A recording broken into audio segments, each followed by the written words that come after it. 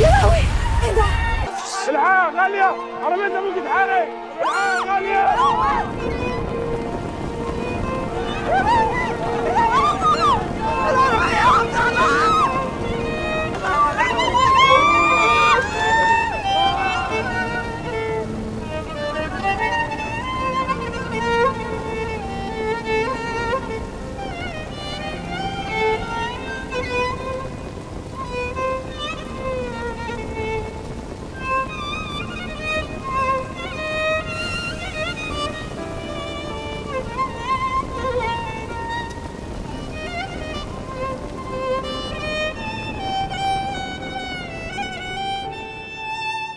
عارف أبو مكة ده؟ كان بيجي يركب من الموقف هنا قبل ما ربنا يكرمه. آه. وشك حلو عليه يابا. بس أنت حكي لي نفس الحكاية دي عنني ما هما الاتنين بيلعبوا في نادي واحد يا حمار. بس كل واحد فيهم كان بيركب لوحده عشان ما يعيروش بعض. يقول له اللي بتركب ميكروباص. السلام عليكم. عليكم السلام ورحمة الله وبركاته. عليكم السلام ورحمة الله وبركاته. في يا ابني جاي بتجري وتنهج ليه؟ لسه جاي من الحارة. وعربية حنف النار واكلاها بس الصراحة الله ينور يا معلمة. تكتيك عالي قوي. حلال حلال شغل فاخر على الآخر. بس عدت زي السكينة في الحلاوة ولا حد حس بأي حاجة. إيه ده؟ أنت بتخرب بتقول إيه؟ عربية مين اللي ولعت عربية حنف يا حاج اللي غالية شغالة عليها محور المش أنت نسيت ولا إيه؟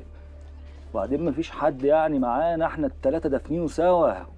ده أنا عابد ابنك حبيبك المفروض أبقى عارف الزتونه قبل ما تحصل وما تخبيش عليه أي حاجة. ورحمة أمك الغالية ما أعرف. إيه يابا تخبي علينا ده إحنا عيالك برضك عيب. وربنا ما اعرف يا حمار أنت وهو مين اللي عملها إزاي يعني يا حاج امال هيكون مين يعني اللي حرقها؟ أنا شامم ريحة مش كويسة في الموضوع. في ناس دخلت المنطقة ولعبت الدنيئه إزاي ده يحصل وإحنا موجودين؟ يا حمدي. أيوه يا يا معلم سيد. يا معلم. يا أحمد. تمام أنا عايزكم تقلبوا المنطقة. تما وتعرفوا لي مين اللي عمل الحوار ده؟ الله مين اللي ولع في عربية الراجل؟ يلا روح انت وهو يا شوف معلم. تمام يا معلم. لا حول ولا قوة إلا بالله. يعني أنت مش بتتهمي حد بحرق العربية؟ الله أعلم يا بيه. هتهم مين؟ وأنت يا عبد الله. أنا يا بيه. بتتهم مين؟ أكيد حد ابن حرام. أنا لو عرفت كنت هبقى ساكت يا بيه. عموما فريق البحث الجنائي هيعاين العربية. ويعرف سبب الحريق ده. بس انت مش معايا انها غريبة ان يوم فرحك أبوك وجوزك يتضربوا بالنار وبعدها بشوية عربيتك تولع. ده أمر الله يا محمد بيه. وأمر الله نافذ ونعم بالله. بس خلي بالك من نفسك لأن مش كل مرة هتيجي في الحديد.